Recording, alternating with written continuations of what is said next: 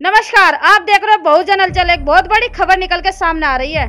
बरेली थाना क्षेत्र गाँव गगन बाड़ा में फलदान कार्यक्रम के दौरान ढोल बजाने की बात राजपूत समाज के लोगों ने दलितों पर तलवार और डंडों से हमला कर दिया। इतना ही नहीं, उनके वाहनों में भी तोड़फोड़ कर दी।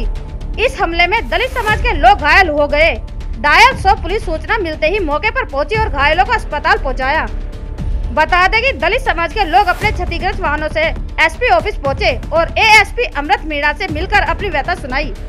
हालाँकि बरेली पुलिस ने रात में ही मारपीट करने वाले लोगों के खिलाफ एफआईआर दर्ज कर ली थी। एएसपी ने पीड़ित लोगों को आरोपियों के खिलाफ सख्त कानूनी कार्रवाई करने का भरोसा दिलाया।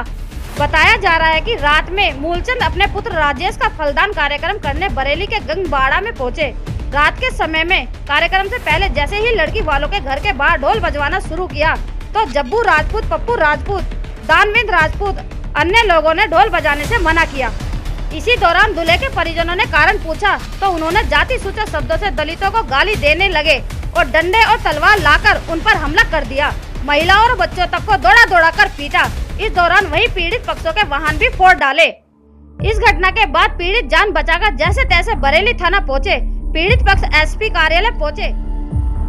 ब्यूरो रिपोर्ट, बहुजन हलचल।